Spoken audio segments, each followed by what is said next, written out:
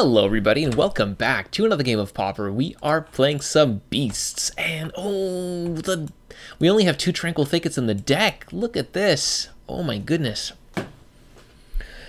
Can I get back on track with this hand? Oh no, the Arbor Elf can't untap these. Ah. It's three mana on by turn three, I guess. I can go Wirewood Savage, I guess, but yeah, I'm gonna I'm gonna shut this one back. Okay, this is better. No auras, well, except for Elephant. Actually, this is fine. This is a fine hand. Uh, what are we putting back? Um, oh, I really want to put back a land. It seems kind of greedy though, but I think we're gonna go for it. We're on the play, which helps. We get to go for Orgnarlid. They don't kill our Arbor Elf, that is but that's pretty unlikely. And then Org Gnarlid Elephant Guide is, oh, no. Ah, okay, good. oh, how much greed do I want here? Uh...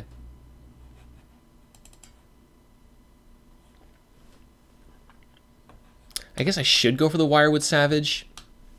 Looks like I'm going to be discarding a lot, so it's probably worth it. Go for Wirewood Savage into hopefully Primal Hunt Beast the following turn, maybe discarding Elephant Guide.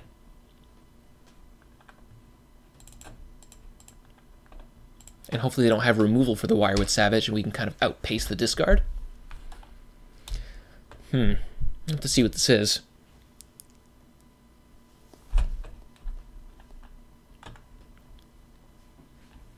Ooh. Oh, nice combo.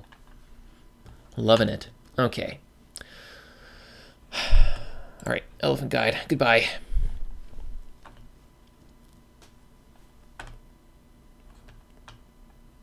Oh, and wow, nice, very nice combo. Okay, hopefully we get another land here. Because right now, Org Gnarlid not doing too, too much. Very cool start for them, though, so far and I will opt to not throw my Wirewood Savage into there. Even though it would technically trade with either of their creatures, I feel like we can get much more value out of it. Drainpipe Vermin. Okay, this is a cool Aristocrats deck. I'm digging it. Huh. Alright, we're we're going to discard the Voracious Typhon.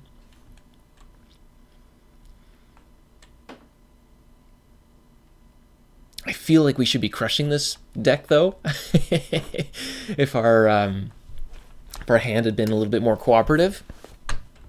What are they putting it on? The Drainpipe Vermin. Okay. Gonna get in? Just the Bone Picker. Yep, that makes sense. Oh, Ancestral Mask. All right. Let's play Org Gnarlid. okay, so the Drainpipe Vermin can't block my Org Gnarlid, and I'll happily trade with a Mortician Beetle. Yeah, they just take it. Makes sense.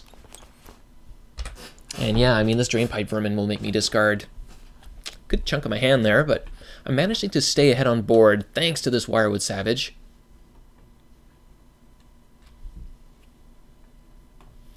It's drawn me two cards already.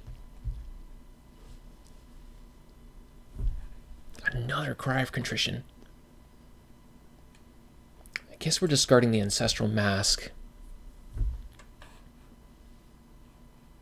Yes? Okay. And they chose to haunt. Oh, okay, there goes my hand. Don't see that cry of contrition very often. They get to refuel. Yep.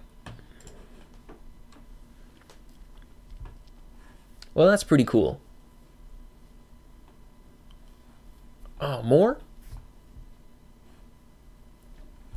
Wirewood Savage is still in play, though.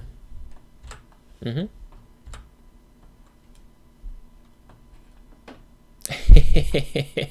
uh, Voracious Typhon, kind of far away here.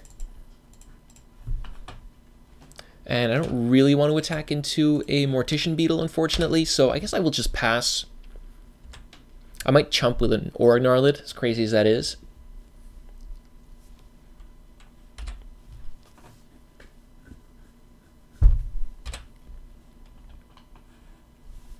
Yeah, leaving behind the Mortician Beetle. Interesting. Maybe they're just drawing uh, a lot of lands here. It seems like they probably don't play that many lands. What's this? Oh, gonna wait till my draw step and make me discard instant speed?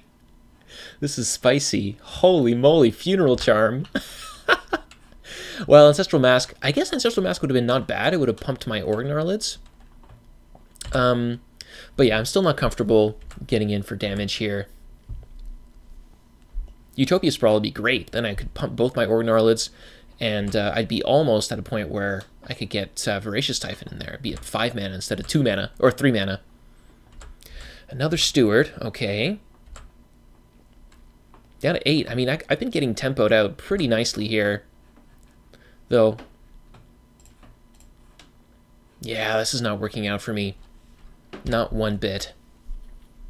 I just need to draw like a beast, though, and I'd be or that's a Utopia Sprawl, or let me keep an Ancestral Mask or something, and I'll be looking a lot cozier. Yep, down to five I go. Is there a world where I win this match anymore?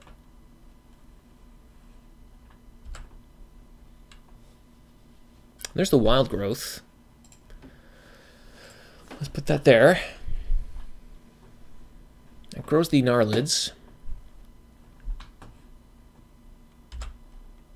Suppose we'll get in with both.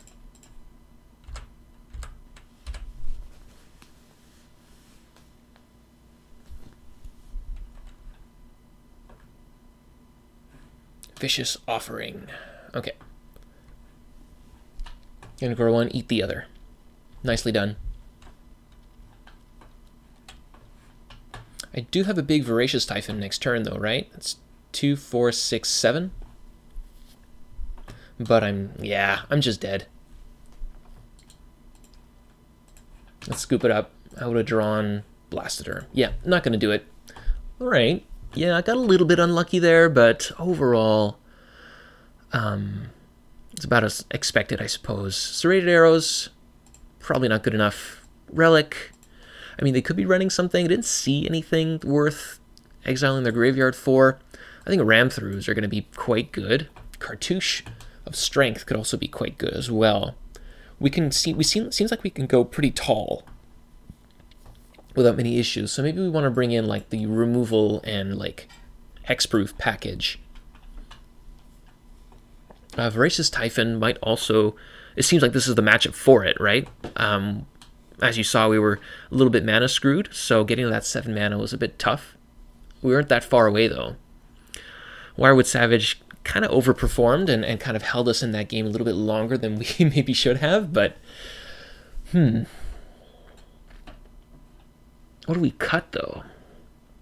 Is the issue.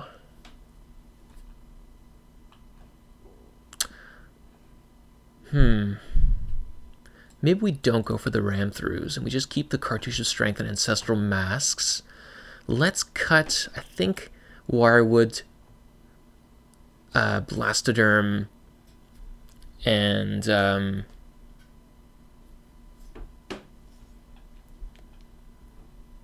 maybe another Blastoderm. I feel like those these guys are just going to get blocked like crazy. In fact, maybe it's better to keep the Wirewood Savage and go down on these Blastoderms here. Let's go with that. Opponent's deck is really cool. I really dig it. Um, hand doesn't do much. No creatures to play other than Blastoderm on turn four. I don't really want to mulligan against this deck, and this, this is, you know, relatively keepable, I suppose. We draw any three drop, we're fine. We draw any more ramp, we're okay. We draw lands, we're fine. Still a turn three Blastoderm is nothing to sneeze at even if we end up with a, a bunch of things we can't uh, we can't use. okay. All right. That'll do.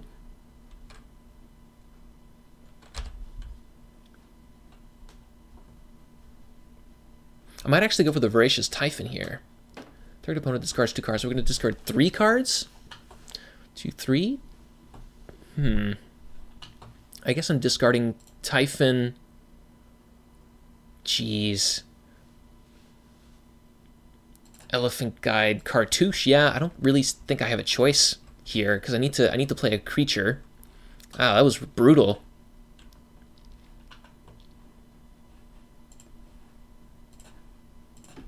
Let's go Wild Growth and Blastoderm and hope we don't get chump locked into Oblivion here. We are out of gas, but we do have five mana. It's only two away from the Typhon. Hmm.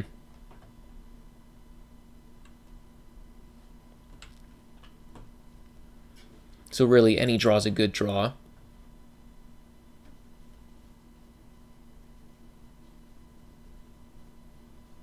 Oh, gonna make me discard.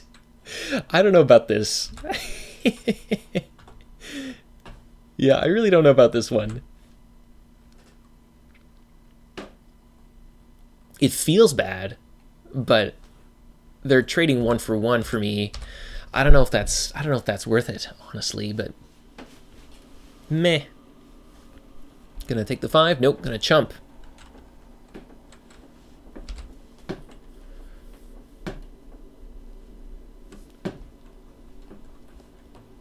Gonna make me uh, discard my card again? no. Well, it's a land. One away from uh, Voracious Typhon here. Wait, is it five cards though? Four. So one, two, three. I'm one card short of being able to uh, bring it back with Escape. Oh, that's sad. Blastoderm going to the graveyard will eventually get there. Okay, full price blast, uh, full price Bone Picker. Two, four, six. So let's play the Forest. And uh, I'm going to get in with a Blastoderm, and uh, I hope they trade. They don't. Okay, fair enough. So Blastoderm is going to go to the graveyard, and I'll just cast Voracious Typhon. Depending on what I draw, obviously. Mm-hmm.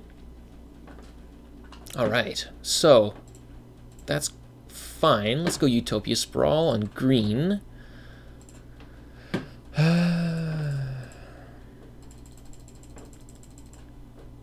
One, two, three, and four. Done. Alright, that's a 7-7 Typhon. It's bigger than a Gurmag Angler, that's for sure. Might be able to hold back both of these creatures all by itself. Nope. Opponent gets in. Right, well, definitely blocking the Angler here. Okay, I'm to defile. Oh boy, we're getting just absolutely crushed. Yikes. Yeah, opponent's deck was sweet. We're not completely out of it. Like, if I if I draw Ancestral Mask, we might actually have a shot. What's that, two, four, six? I'd be a 12-12 or an Arlid? Oh, never mind. I was just a, just just small enough to get hit with this. Wow, what a cool deck.